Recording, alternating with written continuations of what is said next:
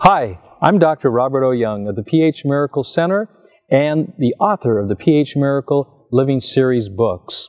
And I'm pleased to announce that we're going to be offering a PH Miracle New Biology Microscopy course this coming November, November 18th through the 24th in Portugal.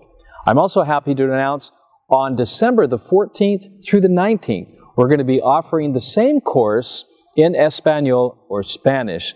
And I'm inviting each of you to come and learn this new way of living, this new way of eating, this new way of thinking. Learn how to analyze the blood, to be able to look at it, to be able to see and differentiate between healthy and unhealthy blood, and to help you understand the inner workings of the body how important the blood is and how it can change your life when you focus on renewing and building and restoring health and vitality to the blood.